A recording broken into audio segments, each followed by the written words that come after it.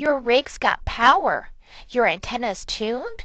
So why ain't anyone hearing you? I'm Izzy Rotgut, and today we're talking about real-world RF, where your signal dies on hills, trees, and lazy deployments. Line of sight is king. If your antenna can't see the other station, you're talking through dirt and drywall, not air. Terrain kills signals. Mountains block 'em. Trees absorb 'em. Buildings bounce 'em. Want your comms to work in the wild?